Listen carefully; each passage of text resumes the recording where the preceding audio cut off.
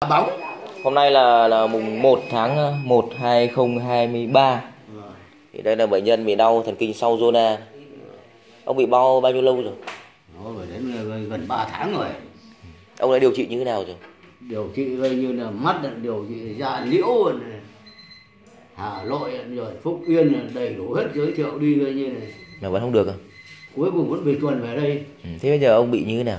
Bây giờ biểu hiện của nó thế nào? bây giờ là kiểu đây nó vẫn cứ sưng À, hai mắt nó cứ kiểu nó, nó, nó như nó có cái cái cái, cái bận ở trong này này Ừ.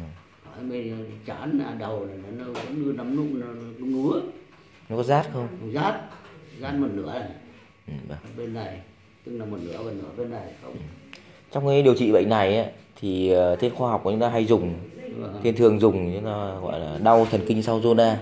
Vâng. Thì trong trình đường ờ, điều trị như này thì chúng ta sẽ dùng ờ, ở trên mặt chúng ta dùng những huyệt hợp cốc. Vâng. Tôi sẽ dùng hợp cốc cho bệnh nhân này. Vâng.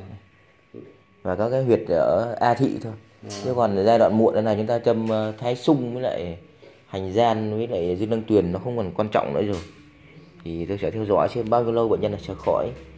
Dự kiến thì nó sẽ hơn một tháng bác cố gắng nhé. Vâng. Ừ, được rồi, ok rồi.